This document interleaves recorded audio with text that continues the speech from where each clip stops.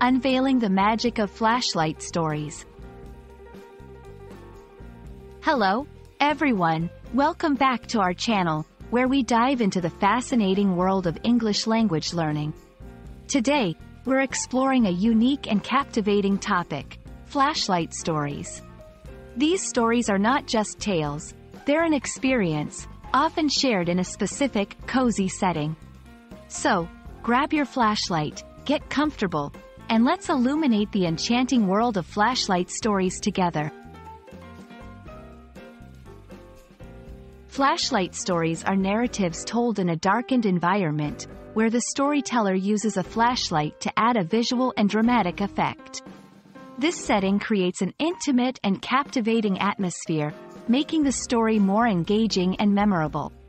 Flashlight stories often evoke a sense of adventure, mystery, or suspense, making them a favorite during camping trips, sleepovers, or any gathering that allows for this unique storytelling method. The tradition of telling stories in the dark dates back centuries and spans across cultures. Originally, these stories were told around a fire, with the flames casting shadows that danced along with the tale being told. As technology evolved, the flashlight became a modern substitute for the fire, allowing this storytelling tradition to continue indoors or in places where a fire isn't feasible. Flashlight stories have since become a beloved part of contemporary storytelling, especially among children and families. Creating a captivating flashlight story involves more than just a good tale. It requires atmosphere, suspense, and a bit of creativity. Here are some tips. Choose your story wisely. Opt for stories with elements of surprise, mystery, or adventure. Ghost stories, folk tales, and personal adventure stories often work well. Use your flashlight effectively. The flashlight isn't just for visibility. It's a tool to enhance your story. Use it to mimic lightning, cast spooky shadows, or spotlight your face during intense moments. Engage your audience. Invite listeners to imagine themselves within the story. Ask rhetorical questions, pause for effect, and use varied vocal tones to keep them hooked. Practice your timing. The key to a great flashlight story is timing.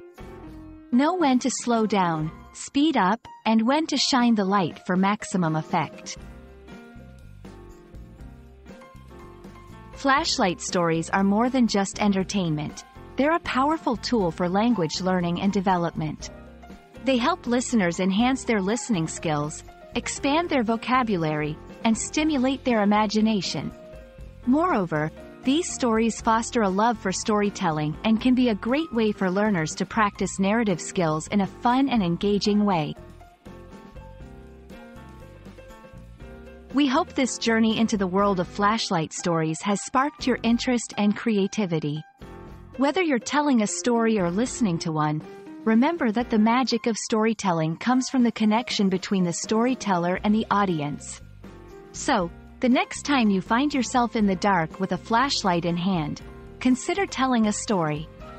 It's a wonderful way to bring people together, share experiences, and create unforgettable memories. Thank you for watching, and we look forward to seeing you in our next video. Happy storytelling!